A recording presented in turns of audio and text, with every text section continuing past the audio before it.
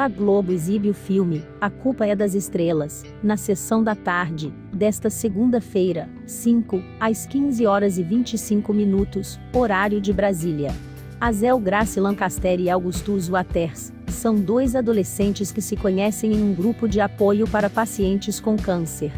Por causa da doença, Azel sempre descartou a ideia de se envolver amorosamente, mas acaba cedendo ao se apaixonar por Augustus. Juntos, eles viajam para Amsterdã, onde embarcam em uma jornada inesquecível.